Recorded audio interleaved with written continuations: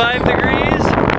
We're at 2,200 meters. And Dolly's getting blown away by the wind. Amy's dressed in her winter clothes. Look at the cloud coming through. Here's where we came from. Can't see anything. Save her! Save her! Woo! And there's down in the mountain. It's really...